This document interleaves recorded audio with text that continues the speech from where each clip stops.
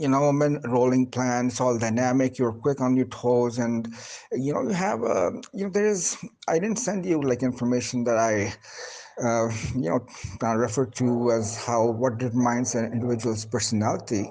And I, you know, I don't know where it is, but uh, let me just verbally communicate. Thing is, the personality, like you know, what you have or anybody has, you know, it's determined mainly by um, two factors. You know, one is the nature, one is nurture. You know, it's the DNA you know first of all you have to have the right dna so that you are born with you know to your parents you know that's heredity that's not something like if you don't have that basic raw material you're done you know that you will be type b and that's it. So if you happen to have that genetically.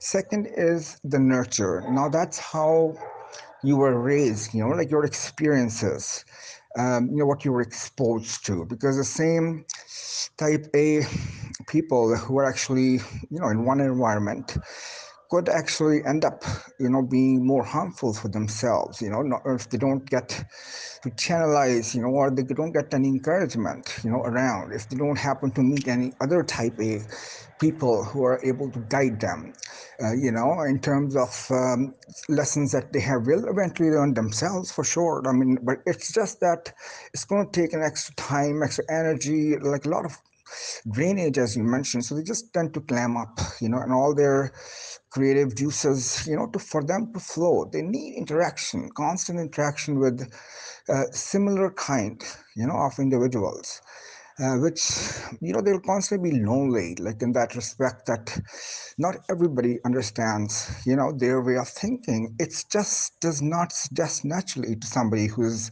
whose brain dna is not wired uh, the same way. So you can't really blame them. Actually, a way, it's good to be type B. You know, I don't really look down upon them because they have happy lives. You know, they don't have much expectations of themselves. You know, of uh, and and their brain is not. I term is not dumbed down. It's just wired differently. So it's like not. Um, you know optimized for taking any stress of making their own decisions or even looking at they like to work, look at the world with rosy glasses. And you know guess what? If you if you that's what you look at and that's what you'll experience. For them life and they're happier as they go through life you know because they don't think and overthink you know. And uh, type a person like tends to like waste a lot of their energy like with little situations you know. They just constantly like i mean they don't if the mind is going in thousand different directions you know you won't accomplish anything. So just kind of enter just come to a just complete stop because of all this drainage of their resources you know all these multiple areas.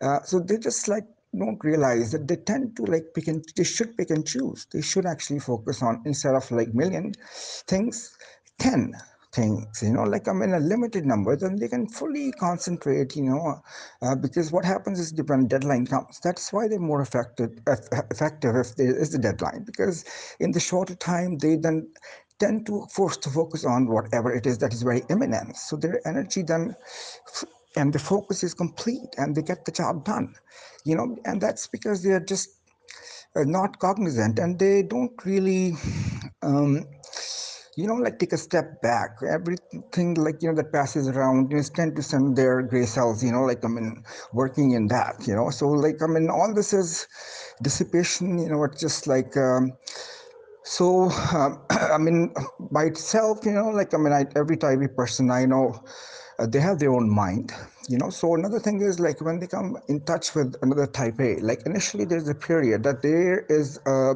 friction you know, because they all they're very opinionated. But like you and I, you know, I felt felt um, you know, and it's a natural process because you know you need to actually kind of go through a phase, you know, where uh, the only like alternative, uh, you know, when it becomes like a mutually um, you know, um, what is called mutually beneficial relationship is if between the two, one of them actually uh, through time ends up getting respect the one that's older and considers and thinks that they are more wiser, you know, and of like it shows the respect, you know, and uh, like the mental protege, like so then it becomes very much beneficial.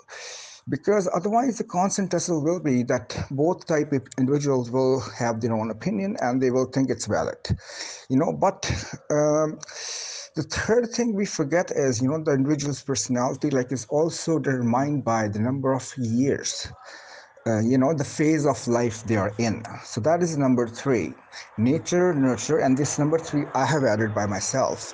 Uh, you know it is um, you know your sum total of your experiences and there's a book that you need to read uh, it's called you know the crisis of uh, adult life by gail sheehy the predictable causes of um, you know, uh, something along those lines. I, I've done the one for men. I think there's the one for women as well. But every 10 years, you know, our personality changes. You know, we go from in the 20s, we are a different uh, you know person like because we are kind of like new and inexperienced you know and uh, 20s are for like rolling around you know like i mean making mistakes you know being adventurous. By the time you turn 30 then you settle down. Like i mean you get married you know you'll start your family life also for a man like he starts his career at 30 so 30s like are for like i mean the financial goals you know like i mean become at the top of the list. So uh, by the time you reach reach late 30s now you are actually now in a well established career by then your family life is okay.